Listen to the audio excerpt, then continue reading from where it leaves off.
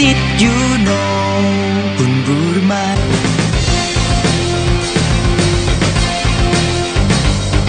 ทำไมไข่ไก่มีแค่สองสีทำไมต้องถนัดซ้ายถนัดขวาทำไมท้องฟ้าถึงวันนี้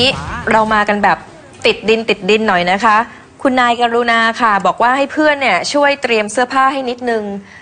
เสื้อผ้าที่เธอมีอยู่มันไม่เรียบ ก็เลยต้องให้นิ่มมาช่วยรีด แล้วก็สั่งว่าขอให้ใช้น้ำยารีดผ้าเรียบด้วย จะได้รีดให้เรียบเรียบๆฟังแล้วค่อนข้างงงนะคะ มีคำถามค่ะก่อนที่จะรีดให้เรียบนั้นเนี่ยทำไมเราต้องใช้น้ำยารีดผ้าเรียบ ในน้ำยานั้นมันมีอะไรคะ ถึงช่วยให้เรียบได้ เดี๋ยวกลับมาหาคำตอบกันค่ะ Did you know ในน้ำยารีดผ้าเรียบนั้น มันมีอะไรคะ ทำไมถึงทำให้ผ้าเรียบได้ สารเคมีหลักที่ใช้ผสมในน้ำยารีดผ้าเรียบนั้นก็คือ PVA หรือ Polyvinyl Alcohol ซึ่งเป็นโพลิเมอร์สังเคราะห์ ไม่มีสารพิษ ไม่มีกลิ่น และสามารถละลายน้ำได้ สารตัวนี้ค่ะเขาจะช่วยก่อฟิล์มบนผ้าทำให้เนื้อผ้าคงรูป และสามารถอัดกลีบได้คงตัวทำให้รีดผ้าได้เรียบ หลักการนี้ฟังดูคุ้นๆใช่ไหมคะ ใช่แล้วล่ะค่ะ มันก็คือการลงแป้งบนผ้านั่นเอง เพียงแต่ว่าเจ้า PVA เนี่ยมันเป็นแป้งสังเคราะห์สำเร็จรูป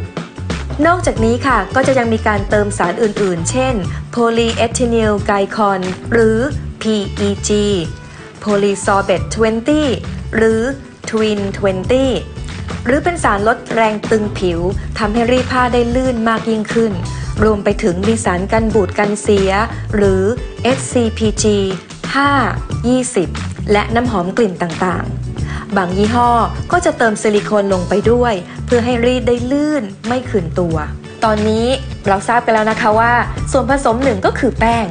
นั่นก็หมายความว่าเราก็สามารถทำน้ำยารีดผ้าเรียบ ปราศจากสารเคมี จากของที่มีอยู่ในบ้านเรานั่นเองค่ะ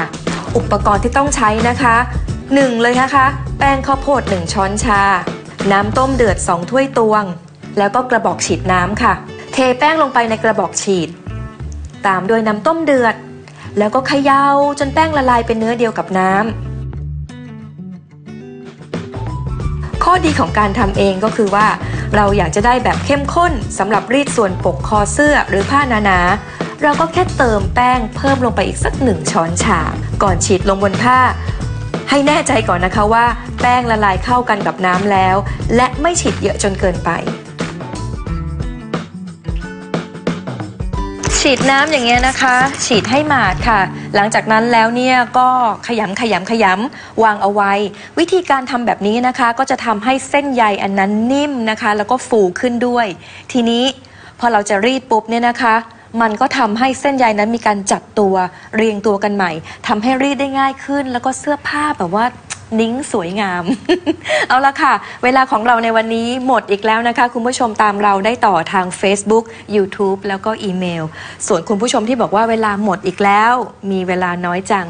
ตอนนี้ค่ะ เรามีของดีจะมาโชว์กันก็คือ Did You Know Show เป็นอีกเวอร์ชั่นหนึ่งนะคะ มีความยาว 30 นาที ชมกันได้ทางช่อง SD3 วันเสาร์8โมงครึ่งถึง9โมงแต่ Did You Know เวอร์ชันกระทัดรัดเนี่ยยังอยู่เหมือนเดิม คราวหน้าเจอกันใหม่นะคะ สัญญาว่าจะไม่รีดผ้าแล้ว สวัสดีค่ะ Did you